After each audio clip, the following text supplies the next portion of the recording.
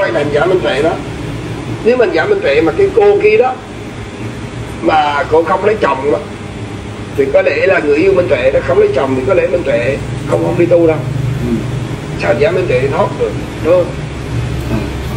tại do buồn quá à, thất thần quá người yêu mình đã đi tu người yêu mình đã đi lấy chồng thì nó rơi vào cái khủng hoảng tâm lý trầm trọng. Mà tìm tới đọc sách cũng là một cái việc làm một nguyên nhân uh, đưa cho bán nhà mặt rất là hay. Thì cũng tốt không thay vì ở Thái Lan ở hay Nhật. Hình như là cái anh à, thợ tu này á là ăn ở không. Riết rồi hình như là cũng à, nhàm chán à, chịu không nổi. Thì à, cho nên á là mới à, suốt ngày á là cứ đi à, à, đi tìm tòi đi lùng sục vào những cái chuyện cá nhân à, vào những cái chuyện riêng tư của người khác. Ở đây á, thì à, nói một cách chính xác là của sự minh tệ. Để mà gọi là công kích để mà đã kích để mà hạ bệ uy tín và danh dự của một người của một vị. Mà vị này á thì à, cũng chẳng bao giờ à, đã động đến à, quyền lợi à, chẳng bao giờ gọi là xúc phạm à, đến bất kỳ danh dự của một ai. Nhưng xem ra đó thì à, phần lớn à, những cái thợ tu á thì ờ, có lẽ là ăn ở không à, ăn không rồi rồi à, không có thực hành à, gọi là giới định tệ. Thì à, cho nên đó là cái thời gian rảnh nó rất là nhiều. À, ngoài cái việc à, bài binh bố chặn những cái à, gọi là những cái lễ nghi không giống ai à, những cái bài pháp á, thì ờ, đi ờ, ngược lại với lời Phật á, thì à, dành phần lớn thời gian à, để mà công kích để mà đả kích à, những vị nào à, được sự yêu mến hơn mình. Thì à, qua đây á, một lần nữa đó thì chúng ta thấy rằng những cái thợ tu này á, thì luôn à, mồm luôn miệng à, dạy đời người khác á, về nhân quả. Nhưng thật sự á, chính bản thân những cái thợ tu này á, là chẳng bao giờ biết sợ nhân quả là cái gì. Bằng chứng là khi những thợ tu này á mà đang thọ nhận à, đang thọ nhận vật thực và tài vật của đàn na tính thí á, nếu như mà không quay vô tu tập cho đàng hoàng á à, thì ờ, sau này á, thì mình sẽ là những cái ờ, cái, cái con vật à, con vật đội đội lông đội sừng để mà trả. Ở đây là trong một kinh Phật chứ thanh tâm là không có bịa ra và cũng thanh tâm không có hù dọa bất kể một ai. Thì à, qua đây á, thì à, lại một lần nữa. Thì à, chúng ta thấy rằng Phật pháp ngày hôm nay á thì à, đã bị quen ố bị làm ô uế bị làm lu mờ bởi những thành phần bất hảo như thế này. Còn những vị chân chánh à, những vị luôn chuyên tâm thực hành giới định tệ đó thì à, những vị đó không bao giờ là người ta à, xuất hiện cũng không bao giờ là người ta tự bổ ngực xưng tên về, về mình à, như thế này hoặc là như thế khác chỉ à, có một số gọi là thợ tu đó gọi là tu mạng tu tiktok ừ. tu mà để à, câu like câu view tu mà để à, à, lôi kéo phật tử để cúng dường thật nhiều á à, để cho mình là thị quy cái bản ngã của mình đó à, thì à, mới à, xuất hiện nhiều trên các trang mạng thôi.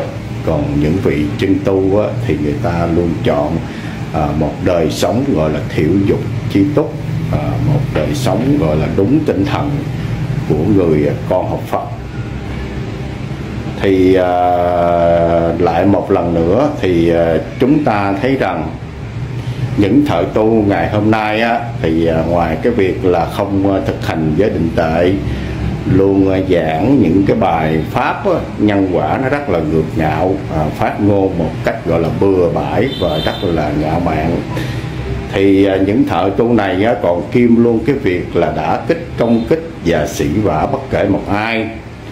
Còn một số à, thành phần thợ tu á, gọi là có chút xíu về công nghệ thông tin á, thì sẵn sàng đi à, đánh sập các cái kênh nào à, mà nói ờ, ngược lại với tư tưởng của đám thợ tu này. Và có một số đám thợ tu nữa đó thì ờ, ngoài cái việc là không tu tập thì ờ, đám thợ tu này là muốn kim luôn cái việc là bán luôn thực phẩm chức năng. À, bán luôn thực phẩm chức năng cái dạng giống như là bán à, à, nước tương rồi à, à, bán nước tương rồi bán muối mè rồi bán gạo lứt rồi bán thuốc các kiểu đó. À, với cái giá rất là chát. Ừ, rất là chát. Tại vì à, những à, thành phần này thì à, nghĩ rằng là mình là có cái uy tín. À, có cái uy tín cho nên là là kinh doanh thì à, thanh tâm nghĩ là chắc cũng hốt được một mớ thì à, chúng ta thấy rằng nếu như những thợ tu này mà không lên mạng nói tầm bậy tầm bạ không làm những cái chuyện mà nó nó nó trái với tinh thần Phật dạy đó thì không chẳng có một cái Phật tử nào mà lên án chỉ trích những thợ tu này. Và bắt đầu là khi những thợ tu này á, mà bị những người à, à, thiện tri thức chỉ trích á, thì họ lại bù lu bù loa họ nói rằng là những người thiện tri thức đó là chống phá Phật pháp là muốn à, Phật pháp bị suy đôi và không biết từ bao giờ đám thợ tu này á, là tự cho mình cái quyền là đại diện cho Phật pháp. Trong khi á, là những đám thợ tu này á, là chỉ lo những cái việc à, những cái việc còn như là còn hơn là cái người ngoài đời mà họ luôn mồm luôn miệng cho mình là đại diện cho Phật pháp. Đây là một điều hết sức là nực cười ở trong à, thời buổi ngày hôm nay và thành tâm cũng xin kết thúc video tại đây. Và xin chúc mọi người an lành. Gần đây các con có nghe cái, cái vụ mà đập tượng Phật không? Có không? Và nhiều người nhiều người lên chỉ trích lên phê phán lên dèm pha sân si đủ kiểu hết nói đủ kiểu hết. Nhưng mà sự thật vẫn là gì? Bậc chân tu vẫn là bậc chân tu đâu có phải vì những cái lời nói đó mà không phải chân tu đâu. Phải chưa? Mỗi người nó có mỗi cái, hoàn cảnh nó khác nhau. Không ai giống ai hết. Ngay cả những vị chân tu, ngay cả những bậc giác ngộ cũng vậy. Mỗi người có một cái hoàn cảnh hóa đạo. Mỗi người có một cái cái hoàn cảnh sống thấy chưa? Nhưng mà cái quan trọng là, dù ở bất cứ hoàn cảnh nào chân tu vẫn là chân tu. Không biến đổi và khi mà nói đến chân tu, thì chỗ thành phật cái chỗ giải thoát. Có không? Có không? Ừ thì bằng chứng là như thế nào? Chúng ta vừa nghe một đoạn clip à, một đoạn clip cắt một đoạn à, clip ngắn.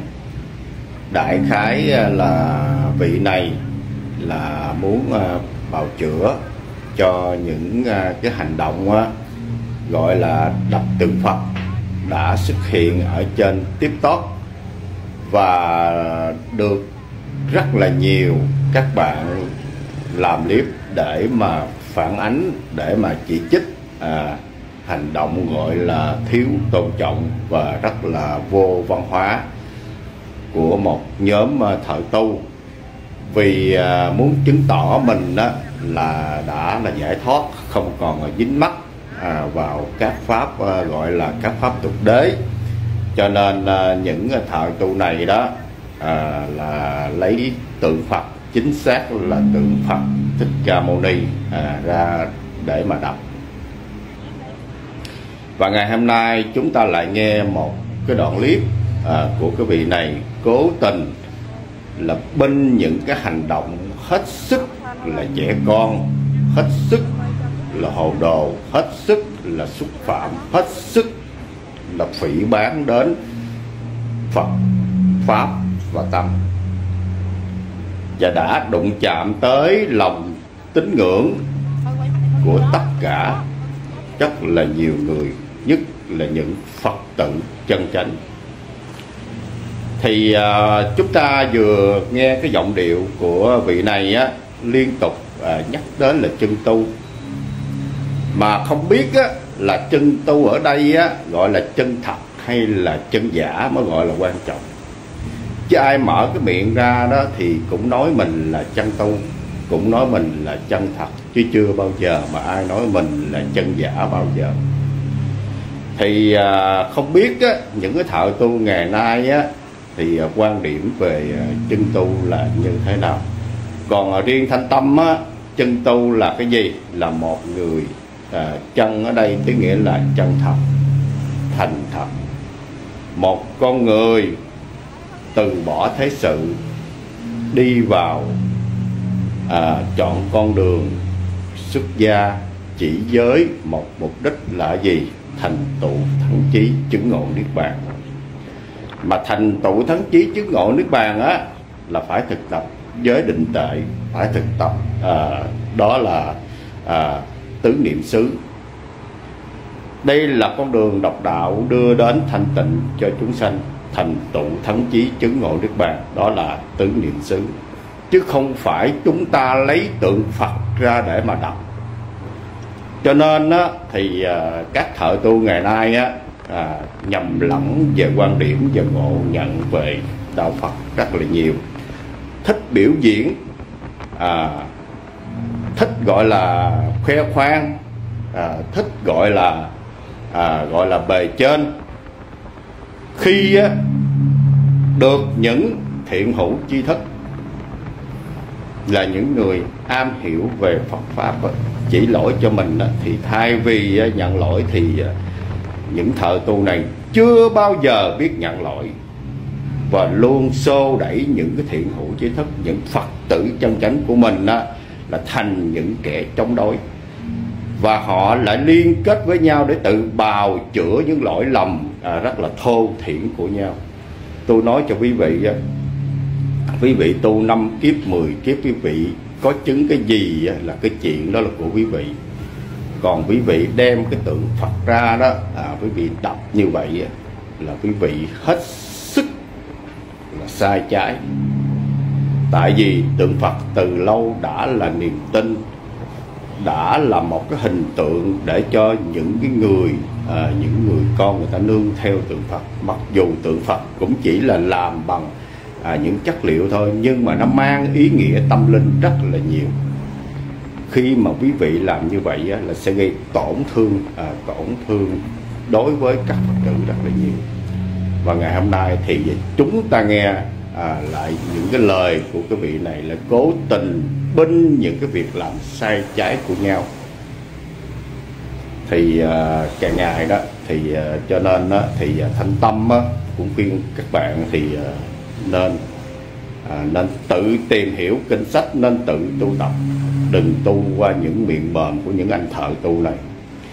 Diễn là khéo tu tập thì chẳng bao giờ mà tu tập rồi ôm gì nhưng mà diễn á thợ diễn là khéo nha.